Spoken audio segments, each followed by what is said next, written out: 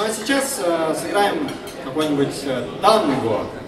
Э, вам, наверное, будет интересно послушать, как звучит танго на гармошке. Я, конечно, не лучший представитель игры танго на гармошке, поэтому не обессудьте. Вот. Поехали. Нео Компарсита.